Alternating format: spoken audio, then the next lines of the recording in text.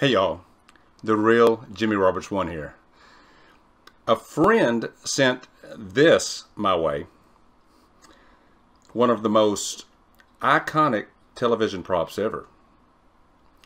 As far as science fiction goes, perhaps the most iconic. You know, Star Trek, I was never really a Trekkie. You know, I think I probably saw all of the episodes as they reran after school in the 70s.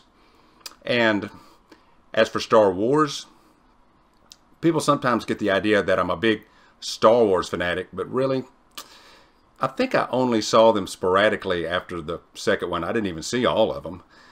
Let's see, that second one, that was like episode five. Ah, it's weird. Anyway, what I do love about the original Star Wars, 1977, 78, somewhere in there, is how the movie was created. That's where my interest lies. George Lucas is a freaking genius. The blue screen chroma key work in that movie, it's legendary. That's where I started. Now back to Star Trek.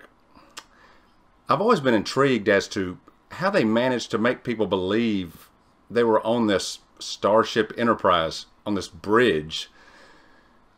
Man, I could never do that. Anyway, I was um, told to be careful with this thing.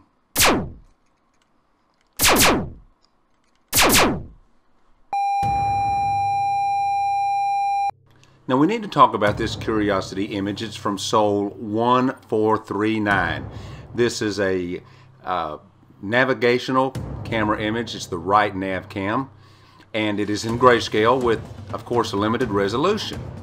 Now my friend Chris Maroney recently did a piece on this image and I told him I wanted to follow up with something. I'll put a link to that video of his at Mars Anomalies and Beyond in the description of this video. Chris does an outstanding job with his work. Now they've labeled this as being a B-U-T-T-E butte, which is a natural formation. And I agree, uh, this does appear to have some of the same characteristics as our natural buttes here on Earth. However, Chris and I both agree that looks may be deceiving because there appears to be something else going on here. There is an unusually large amount of very evident obfuscation in this image for a NavCam image. We usually don't see this much. Just about every bit of that solid dark gray covering the side of this is fake. And a very large piece of debris sitting right in the middle. How big is it? 2.88 meters or about nine and a half feet in length. And as far as the height of the butte itself, 11.3 meters or 37 feet. Now that measurement includes a section that is not in the frame here. How do we know that? Well, I'm going to show you in just a minute. We're not guessing around here, folks. And it gets even better because we have stereoscopic 3D imagery. We will no longer be limited by two-dimensional imagery, folks. So just how far is it from the rover to the butte? That is about one half of an American football field. By now you've probably noticed something not yet mentioned. I know you see it. Don't act like you don't. Raise your hand if you see a bird perched up there. And then take that same hand and slap yourself in the head. I believe they left this intentionally because they knew what people were going to think. And we'll show you how we know it's not a bird here in a moment. But what is the size of this thing? So this is the measurement we got from this angle. Now Chris Maroney alerted me to where we can see another angle. 11 Martian days prior, the rover Curiosity was sitting here, on the opposite side of the butte, looking back. That strange triangular looking object is actually what appeared to be a bird from the opposite angle.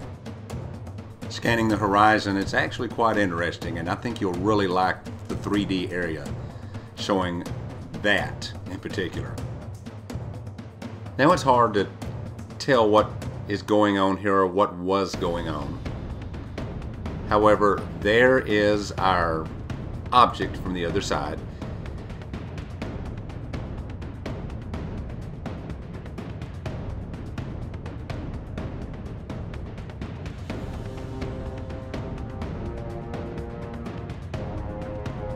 Now here's some measurements to put things into perspective.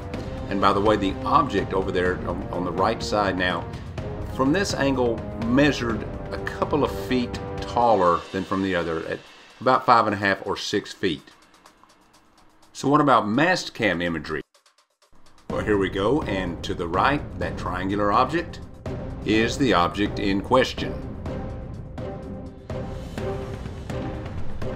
I'm not going to say much about this. I'm just going to leave you with it, and I hope you do stay tuned for the stereoscopic 3D area. If you do not know how to do it, there is a link in the description that tells you exactly what needs to be done. See y'all next time.